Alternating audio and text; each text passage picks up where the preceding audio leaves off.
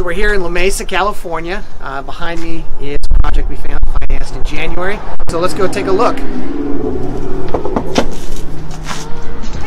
Yesenia, thank you very much for having us. We're doing new flooring, um, new electricity, plumbing. As you can see, we are already done with the electricity, the plumbing. Uh, we took out all the paneling throughout the mm-hmm. house. Okay. So now we put, you know, all the, I guess, walls are done as well. It And almost looks like a brand new house. That's, You bought this from originally from the homeowner, is that? yes, actually the owner who lived here was an original owner. So we will be second owners of this property. Well, let's go take a look. Yes, please. Why don't you tell us a little about the layout of what you're intending to do?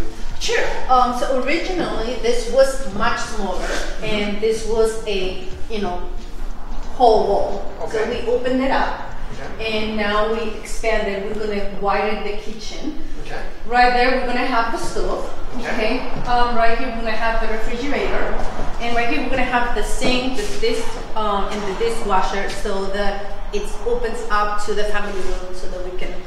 Yeah, this is going to be wonderful. So you have the countertop here, and people can talk and hang out with the entire family room. right. Yes. it's a great idea. Yes. So I I think it's it's gonna look great. So we're here in the master bedroom. Mm-hmm. Tell us what you did here.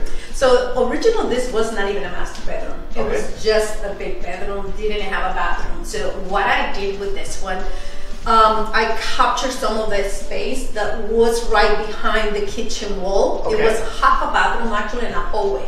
So what Ah, okay. I did, I captured that space and com- and made a master bathroom. Yeah, So and that- now it's truly a master bedroom. Okay.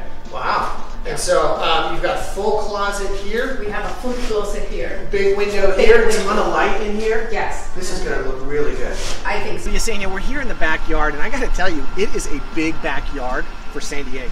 It is huge. Okay. I think this is yes, big one. So what what are you gonna what do you plan to do in the backyard?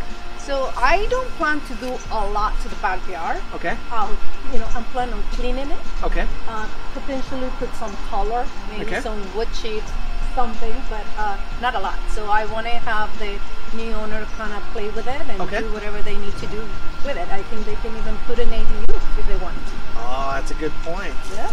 Well, I think uh, this is really going to be a selling point for the house. I'm excited about what you're doing to this Oh. house. I'm excited when you get it to the market.